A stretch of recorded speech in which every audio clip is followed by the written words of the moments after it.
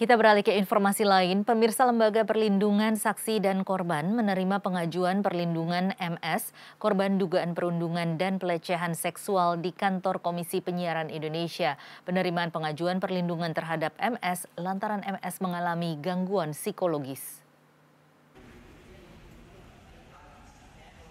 Pengacara korban MS Roni Huta Haean mengatakan pengajuan perlindungan terhadap MS diterima setelah korban menjalani rangkaian kegiatan asesmen di kantor Lembaga Perlindungan Saksi dan Korban di Jakarta Timur.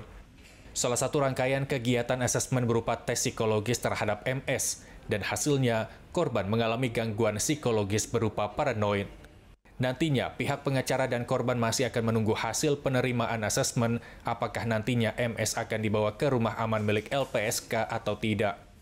Bahwa perlu kami sampaikan kepada kawan-kawan media, kehadiran kami ini pada hari ini adalah kami sebagai kuasa hukum dan korban MS di LPSK adalah atas permohonan kami satu bulan yang lalu terhadap LPSK terkait perlindungan saksi dan korban.